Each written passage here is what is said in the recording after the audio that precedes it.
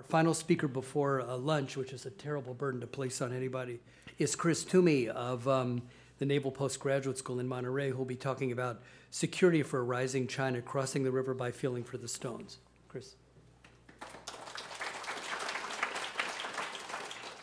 Thanks, Tom, and thanks to, to you and, and to Paul for involving me in this. I went to high school uh, in the in the Bay Area, born and raised in, in San Francisco and Oakland. I went to Bishop O'Dowd, and um, really pleased to, to be a part of uh, this program. I think it's important in general, but particularly nice to, to do so in, in a place I consider home.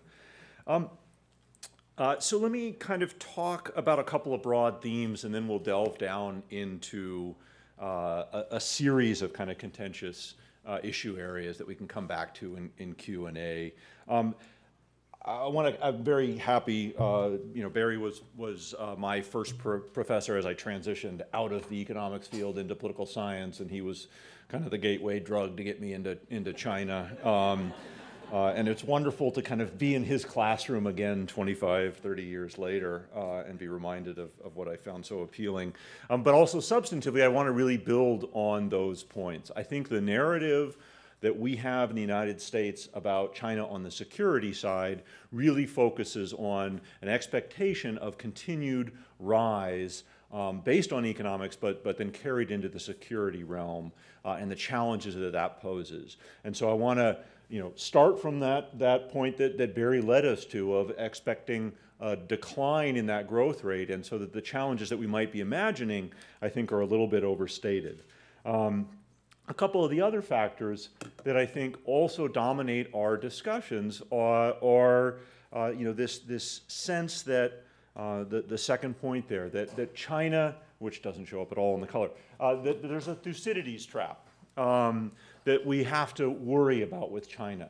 Uh, that is, that a rising power inevitably will want to uh, take over from the established uh, power. And for those of you doing world history, you can, you can kind of draw on that. Um, uh, the hot link should show up in the CD that you're going to get uh, for, to an article by Graham Allison, who looked at a series of um, uh, such power transitions, as we would talk about in the international relations uh, literature uh, between an established ruling hegemon and a rising, uh, what they would call challenger in the field, um, most of which ended up in something like a large systemic war. And so I think one of the questions is, you know, to what extent is that an accurate um, representation of the contemporary US-China geostrategic situation?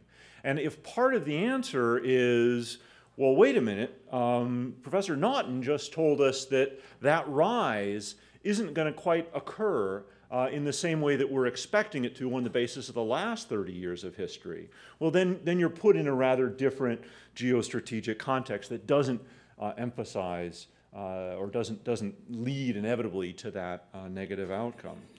The other aspect, though, is um, both sides are very aware of this history. Uh, President Obama has used the, the term Thucydides trap and, and a need to avoid it. Um, so too the, the, Chinese have their own uh, phraseology, the new type of great power relations or major power relations, um, which is intended to uh, avoid those sorts of, of conflicts very explicitly. Now there's other aspects in that foreign policy rhetoric um, that, that involve U.S. Uh, tolerance of uh, Chinese uh, policy preferences in, in certain areas that we can kind of come back to that are a little bit more problematic. But I think at least it shows that the leadership um, is aware of this historic tendency and wants to do something about it. And I think that's uh, important to, to, to recognize. So that's a great little article. It's a short Atlantic monthly piece. Um, uh, that, that is easily accessible for students. It kind of brings in a bunch of different history. Um, Another kind of uh, trope to use, uh, I think Tom's, uh, or maybe it was Jeff, uh, uh, you know, way of talking about um, U.S.-China relations is, uh, and, and, Jeff certainly mentioned the, the Jacques book, um, When China Rules the World. if it, when I'm speaking to a Washington audience or to, to my students uh, who are all military officers. Uh, they're more familiar with the Michael Pillsbury 100 Year uh, Marathon book. Again, that both of those kind of suggest China has a long term plan, an intent to rule the region, the world, to take over uh, from the United States. And you know, I, I think that's uh, a, a mischaracterization of the way uh, China uh, operates. And I think you kind of captured that a little bit in, in uh, all three of the previous, uh, uh, all four of the previous speakers, um, that there isn't that degree of kind of continuity. Uh, in long-term Chinese thinking about where they want the country to be. There are certainly historic antecedents that shape the way China views. There is a, a party line that, that is uh, uh, uh, promulgated throughout the media, throughout the educational system. Um, but mostly, uh, there is a, a, sense in, in Chinese economic reforms that the, the reforms were you cross, you learned this, I'm sure, from Barry's class or maybe from Tom Bernstein's, that you cross the river um, by looking for the next stone to step across. You don't know exactly what, how you're going to get across the river. You're just looking to take the next step you can to keep your feet dry.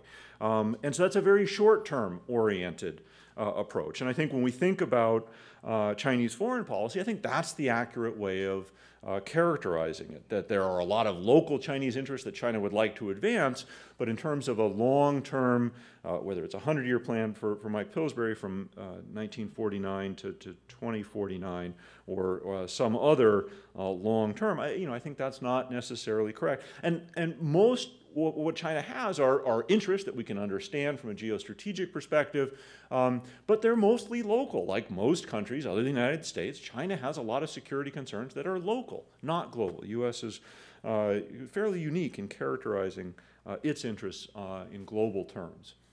Um, so I'm fairly optimistic um, because I think uh, you know all of those different points uh, need to be kind of put in context. I'm fairly optimistic about Sino-American uh, relations going forward. Nevertheless, and I'm happy to talk uh, and will in a second about some of the action-reaction cycles where you get into unintended, uh, not inevitable uh, sorts of conflicts. Um, so you know, some of these specific areas, uh, you know, how should we think about Chinese um, foreign policy, Chinese security policy in the South China Sea, which has been in the headlines because of the uh, recent tribunal's uh, decision, but also in the East China Sea, uh, the Senkakus and, and Diaoyus were, were mentioned uh, uh, earlier. Um, and I think the, the phrase that resonates for me, uh, coming out of one of a recent think tank reports, is reactive assertiveness. China takes advantage of an opportunity to react to somebody else. In 2009, under the UN Convention on the Law of the Sea, you had to make your continental shelf declarations, so a variety of Southeast Asian nations did so, and that begins a spiral of tensions in Southeast Asia. Um, uh, China is certainly uh, a, a, very strong uh, participant in that because it's the largest uh, player in, in many different dimensions. Um, but, but it's not solely their fault. There were other um, uh, instances of provocation. Similarly, in the East China Sea. Um, uh, you know, the, the U.S. policy on, on the Senkaku Islands is, is fairly nuanced, but there is a uh, sense of, of, only focusing on the Chinese uh, escalations in that context. And I think that's uh, not fair. The Japanese, too, have done things that have complicated that situation through the nationalization of the islands. I think there are other ways they could have handled that um, uh, going back. Um, Another set of concerns focuses, uh, and again, this, this came out nicely of really all, all, four of the previous presentations, on the role of, of Chinese nationalism um, in a way that is driving security concerns, constraining the, the leadership's ability to make compromises on things like the South China Sea, on things like uh, Taiwan, uh, and that this has really become central to uh, the, the leadership's legitimacy, uh, as, as Victor and others have, have talked about, um, but that it really complicates the ability to manage crises when there are inherent conflicts of, of interest over sovereignty. Um, you know, one other trend to talk about is, is kind of the PLA's ability to address, uh, to secure each of these interests. And, and, maybe I'll kind of turn to the budgets uh, for the military as, as one useful way of, of kind of talking about that.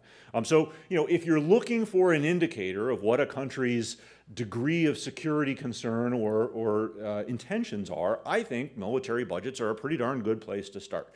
It is the guns and butter trade-off, right? How much are you willing to pour into uh, the, the purchase of guns when you have these major concerns about economic growth rates at home, um, complicating your ability to put butter into people's uh, larders. All right, now let's see if this works. It doesn't. Can we hit the button? Um, if you can give it a click on the graphic, and we might get a nice, smooth, fancy animation here. Oh, go back one and uh, uh, move the mouse and see if that little played button down on the bottom. Too fancy for my own good. It's going to show. It would show um, dramatic growth, exponential growth in Chinese military spending over time. Um, that that uh, you know really causes my my students um, significant angst. Uh, that when you've got Chinese uh, economic growth for a 30-year period at about 10%, the military growth has stayed at that same level in a time when you know the United States, uh, uh, well, I mean it's been a long time since our military has grown at a 10% per year rate. Um, so that leads to very significant problems. But let's put this in context a little bit. You know, one of the important uh, points is the Chinese economy has also grown that fast. And so it isn't that security issues are playing a greater uh, uh, role in Chinese expressed in, you know, preferences. Um, China's kept about the same amount of uh, GDP spent on military uh, expenditures uh, constant over, over a fairly long period of time here. and, and, you know, uh, another way of kind of putting that in context would be to compare the Chinese military spending to that of the United States, right? Um, now these, you know, and, and so first of all, uh, we're, we're way up there. You can see the bump for the, the last two wars that, that are winding down. Um, but, but more generally, I think it's also, you don't want to extrapolate these trend lines in your head.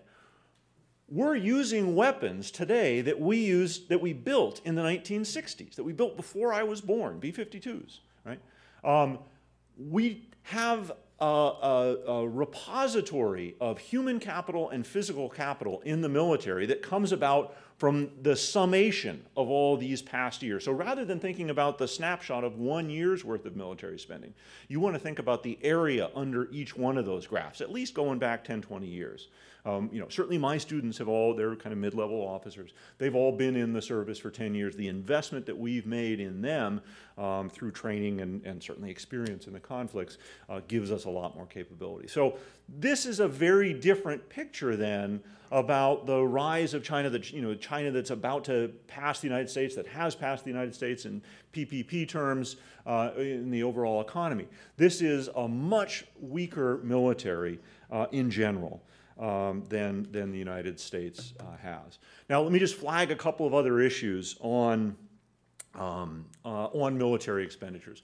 You will often see purchasing power parity um, uh, comparisons made for the United States and Chinese economies, which makes some sense. It's an adjustment to recognize that market exchange rates, or uh, uh, if not fully market-driven exchange rates, the exchange rates that are, that are determined by the uh, two respective governments, don't adequately capture the, the cost of living. And so when I go to China and I get a per diem from, from the government, boy, I live like a king uh, over there, right? And, and even if you're not on a per diem from government, you can eat very inexpensively, uh, at least outside of the hotels in, in, uh, in Beijing. Um, and so you want to make some adjustment to that if you're trying to measure quality of life sorts of issues. But that's not the best uh, exchange rate to use for uh, assessing military expenditures because a lot of military expenditures are not food.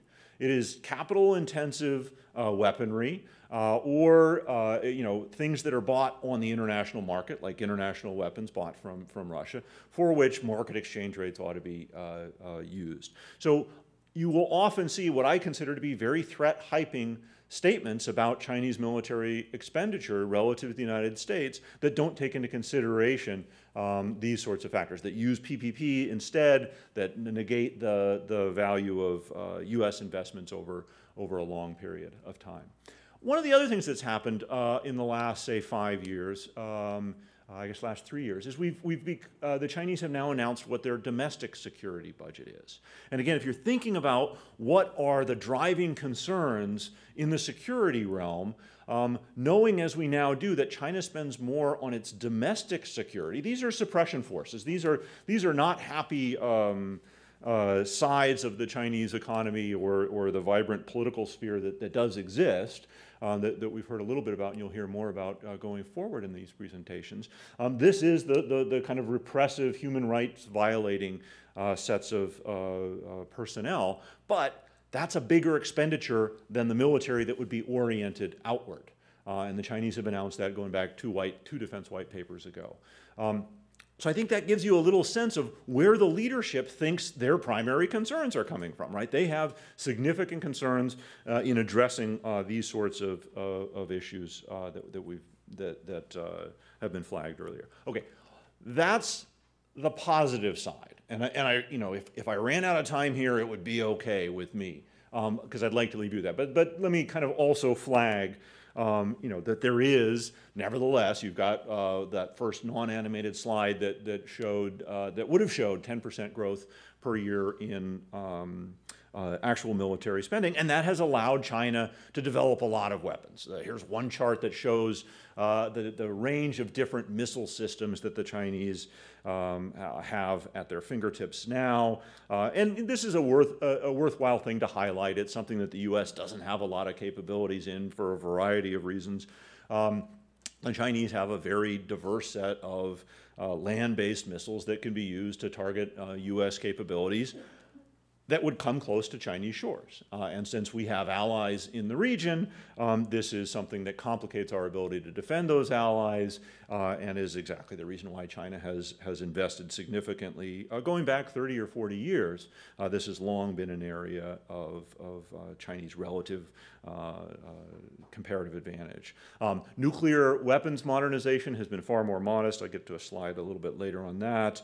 Um, but, but it too is, is a, a somewhat modernizing but very small uh, force. The Navy side, uh, the Chinese have a range of different capabilities. The aircraft carrier has been, you know, kind of covered in the news. Um, I think more important than that are um, uh, the, the development of air defense destroyers, would, you know, analogous to our Arleigh Burkes or uh, Ticonderoga class that allow the Chinese surface action groups, the groups of small fleets, not a big carrier battle group like we would have, but three or four Chinese ships can now deploy into the blue waters, as they have done in the Gulf of Aden, uh, regularly to help with anti-piracy, but they can now deploy in Japanese waters or the South China Sea waters uh, or into the center of the Pacific.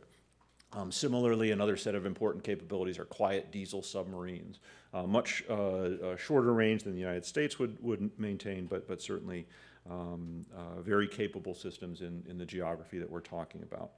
Um, finally, just flag kind of a, a, new area, you know, the, the, the cyber and other cross-domain issues. How do we think about um, in this internet, uh, you know, era where I got six devices uh, on me right now that are connected to some sort of network, um, how do we think about warfare in that realm uh, when the Chinese too are, are very much involved in network-centric warfare? And how do we think about escalation, not in a geographic context, but in, uh, you know, into the cyberspace realm or into the outer space realm, where the U.S. remains to this day a little bit more dependent on outer space, uh, outer space capabilities for, um, uh, for enhancing our military capabilities. Um, if you're in China and you're looking out at where the U.S. has uh, bases, um, you might think you're a little encircled. Right? And so this is important, and I show this to my students for, for them to, remind, to, to, to, be aware of that. Right? We say we don't have a containment policy, uh, and yet we have uh, bases uh, or alliance-like relationships with a lot of countries uh, in, uh, on China's periphery. Uh, and so I think this kind of drives a set of security concerns um, that, that are tangible in Beijing and are not something that are easy for the United States to explain away. Um, uh, you know, the, the U.S. stated policy position is that we do not intend to contain China. But if you're in Beijing looking at the development of the relationships with, our, with the South Koreans, the, the recent deployment uh, or the recent agreement to deploy by 2017 a missile defense battery uh, there, the enhancement of the relationship uh, with Japan that has uh, gone on over the last four or five years, uh, the new development of the relationship with the Philippines, where we've got an agreement to use up to five different air bases in the Philippines. Uh, and as soon as we got that agreement, we took some A-10s down and flew them over the, the Scarborough Shoals in, in the South China Sea, uh, making clear exactly what we thought we would be, those bases would be useful for. The Chinese might start to, to worry a little bit.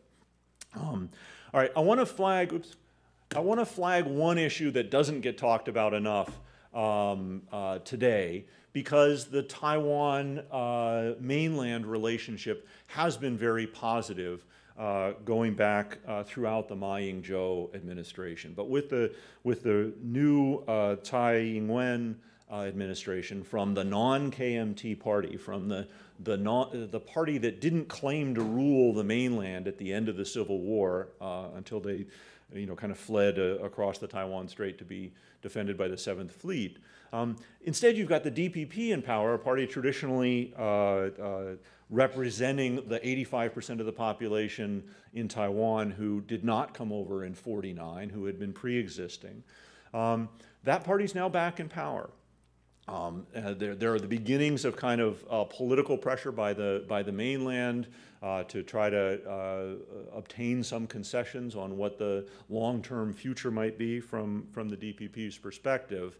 Um, the reason I like this slide is it doesn't tell us anything about the military balance, which is lopsided in the mainland's favor in ways that we could talk about if you'd like. But it suggests to me we are likely to be stuck with this problem for a very long time. This is a question about who, who, who do you think you are? Are you, are you a, a Chinese citizen? Are you a Taiwanese citizen? Are you both? Are you neither? And if you go back to the beginning, um, the both, the purple line across the top, uh, you know, this is just in 92, so it's not the, the earliest beginning. Um, but the both was, a, was the dominant uh, plurality, right? The green line, only Taiwanese, has now risen. Hardly anyone thinks of themselves as only Chinese, the blue line. I think nationalism is a really powerful force in international relations. This is the most objective measure, I think, of nationalism in Taiwan. We're you know, recognizing that you got to uh, dance carefully when you talk about the nation of Taiwan. It's not a state in the way that the U.S. recognizes it or, or uh, certainly not that the Chinese would recognize it. But this is a sense of identity that has proven very powerful and, and created a lot of conflict throughout, uh, throughout European history. Um, and, and here we have a divergence of national identity that I think uh, is likely to continue to cause problems, not just with the Tsai Ing-wen uh, administration, but going forward. Um, okay, let me talk a little bit about this nationalism. Um, so this is a picture of uh, the, the Senkaku Islands. Um, these uh, islands uh, down at the bottom of that chart, uh, you know, just at the end of the Ryukyu chain, just off of it uh, specifically, but in, in, an area contested by, the, by Japan and, and, and China. Um, and during the amplification of this crisis kind of from 2010 through 2014 a couple of times. These islands are administered by Japan, right? That's why we call them the Senkakus generally, not the Diaoyu. Um, uh, a number of Chinese fishermen, uh, often taking off from Hong Kong uh, and then working their way up along the coast, uh, would attempt landings. Um, but this is a great picture because that middle flag is a Taiwanese flag, right? It's the, the ROC, the Republic of China's flag. And so, you know, who, who is defending a Chinese nationalism here? Uh, it's very kind of contested. And so, kind of talking about the media, one of the ways this picture showed up in the mainland media would to have headlines blot out the Taiwanese flag. And sometimes they just would airbrush in a, a PRC Chinese flag uh, over that. Um, this, these ide ideas of, of, you know, what, is, what does it mean to be Chinese are, are, are challenging.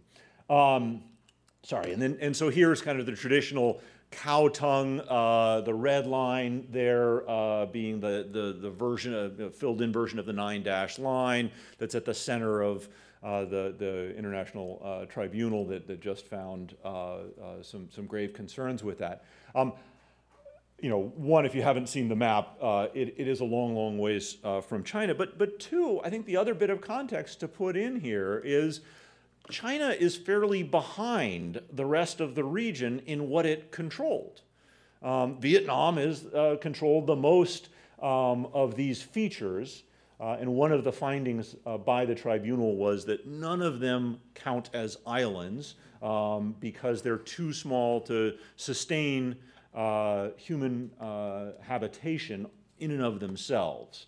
Um, and so that's important because uh, if you have a island that can sustain human habitation, you can begin to make an argument um, that uh, you deserve an e- uh, exclusive economic zone up to 200 nautical miles away from that island.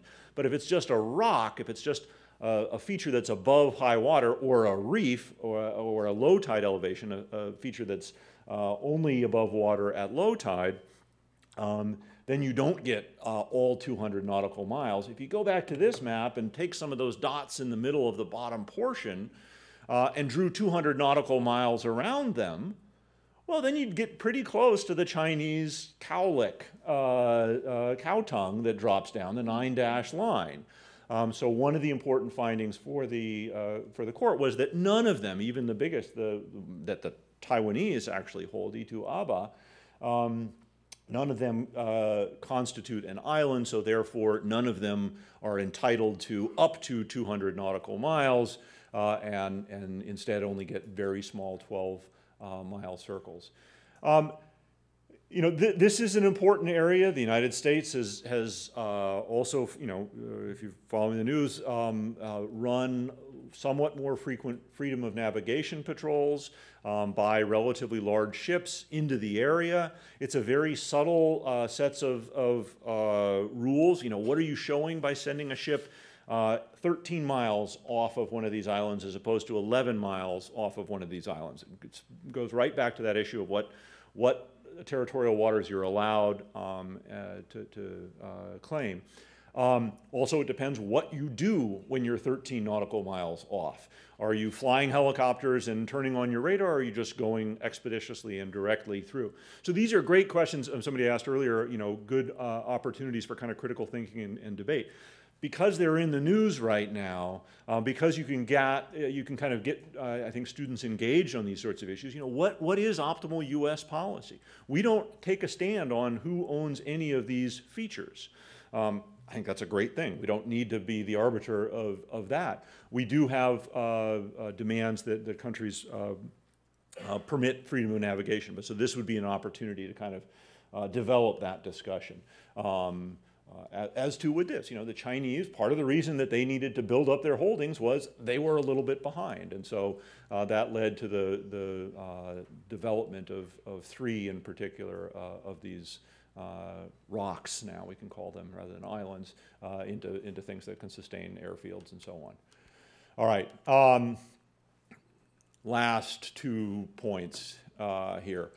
Um, one of the other challenges is to think about how traditional great power politics uh, has evolved in this world where not the globalization of the last 150 years, um, which I think is an important kind of cultural phenomenon, but the, the very deepened economic activity uh, and interchanged economic activity to the point where you know the iPhone says it was made in China, but boy, not a whole lot of the value added came from China.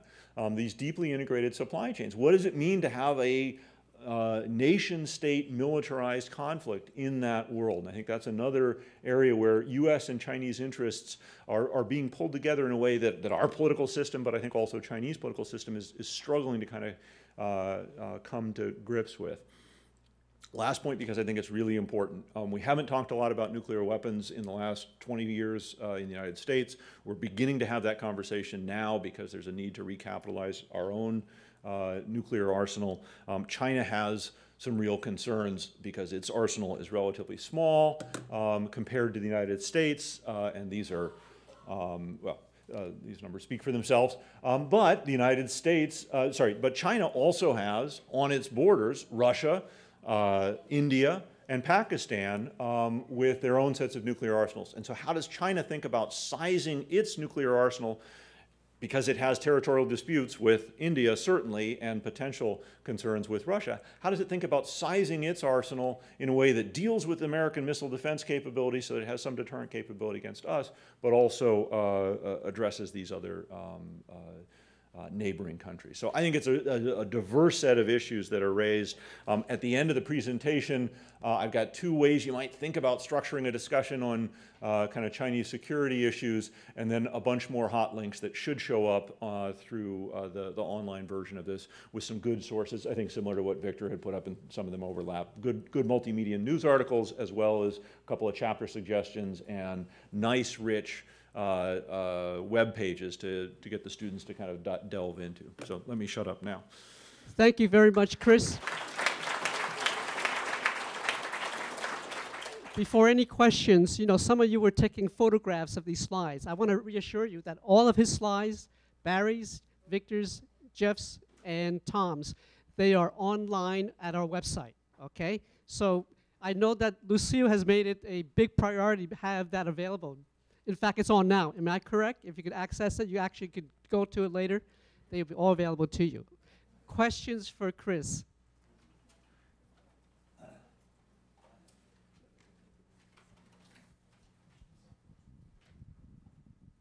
This is a this is a really a nice balanced review on the on the military of both sides.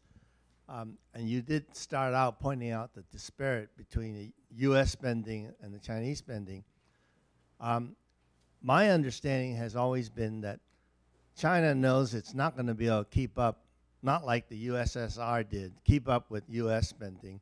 So they've always been focusing on a second strike retaliatory capability as a way of keeping the U.S. at bay. And, and that way is their way of maintaining that that balance. Do you see it the same way? So let's differentiate between uh, the nuclear and the conventional side because you're, because you're raising a really important kind of point. So on the nuclear side, the Chinese have had a very modest way of thinking about what it takes to deter other countries. The United States and the Soviet Union talked themselves into believing you needed 30,000 nuclear weapons to deter the other side. Um, the Chinese have said, you know what? It's a really bad day to lose just a handful of cities to a nuclear weapon. That's essentially unthinkable. So if we can have a handful of, of our weapons holding at risk American cities, that's going to solve the nuclear deterrence problem. Um, you know, and you can see other countries have thought along those same ways. All of these countries could do more if they wanted to. Um, so in that sense, there, there is that. The other, on the conventional side, the Chinese have, you know, because they have relatively local interests, Taiwan, South China Sea, maybe some East China Sea sorts of things, and then North Korea, which we haven't talked about much today, um, they don't need the same set of military conventional capabilities that the United States has. Now, this is starting to change as their own global interest. They've had to evacuate their citizens from Libya and Yemen uh, over the last three or four years. Um, and so they're beginning to be pulled a little bit beyond their region, but not in the same way that the United States is. We've got 10 carrier groups, another 10 things that the Marines run that in any other Navy would be called a carrier battle group. Um, the Chinese are working on their first, and it, it isn't sort of the same capability. What the Chinese do have, though, is a set of a2AD, uh, uh, area, area denial and anti-access capabilities that are primarily based on those missiles and some other land-based capabilities that could be used to really complicate the United States' ability to deploy military force into areas nearby China. And so it's been a very sort of asymmetric de development of their force. Yeah, um, so I'm thinking of this as a historian. And one characteristic that I see of, I guess, aggressive rising military powers is that they build defensive alliance coalitions. Mm-hmm. Um, China's built economic coalitions in the past 15 years, but to my knowledge, and maybe I'm wrong, they haven't done much in the way of military coalitions, nor do they really have the opportunity to. Um, you know, have am I am I wrong? Have they built coalitions that are you know military in nature? And if not, does that indicate that China ultimately doesn't have an aggressive long-term posture toward the rest of the world?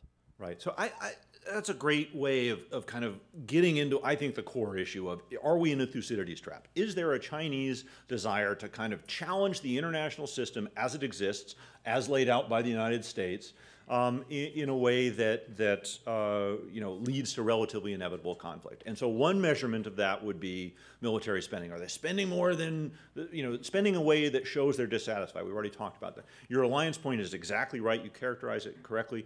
They have not developed the kind of political relations. In fact, most of their political partners are moving away. You know, countries that used to be on the fence uh, are moving away. The, the Chinese-Russian relationship is certainly a complex one, uh, and there's weapon sales that go back and forth. But if you look at the negotiation over things like oil pipelines, the Russians are not moving radically towards the Chinese. They're being very cautious because they want to preserve uh, bargaining leverage. Um, so I think that's another measure of you know a lack of a Chinese uh, long long term plan. And then if you look more broadly at some of the institutions, and maybe we'd have a, a good disagreement on the panel uh, on things like AIIB, uh, Asian Infrastructure Investment Bank, um, which I would view as relatively compliant with Western norms of how one engages in international development. They, they've, they've, they've moved over time closer to AD, uh, Asian Development Bank and, and, and World Bank kind of lending standards. Not, not all the way, but so I think in a variety of different ways, the Chinese aren't, aren't saying we need a separate set of institutions. There's certainly some evolution in the existing institutions that uh, they, they would like to see. Thank you, Chris. He and all the speakers will be around during lunch. Thank you very much.